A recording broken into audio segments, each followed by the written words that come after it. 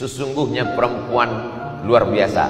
Karena ketika dia hamil, mengandung, melahirkan anak, maka detak jantungnya, hembusan nafasnya, setiap tetesan darahnya, 9 bulan 10 hari, 2 tahun dia susukan anaknya. Maka sesungguhnya itu semuanya bernilai amal soleh. Andai dia meninggal dunia, maka matinya dianggap sebagai mati syahid. Jadi kalau ada syahid laki-laki, maka ada juga syahid perempuan.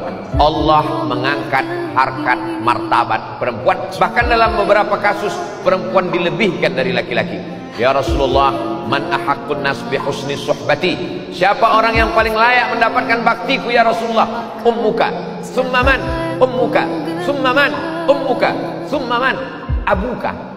Saya sudah bolak-balik cari hadis Sahih Bukhari, Sahih Muslim, Sunan Abi Daud, Sunan Tirmidzi, Sunan Nasai, Sunan Ibnu Majah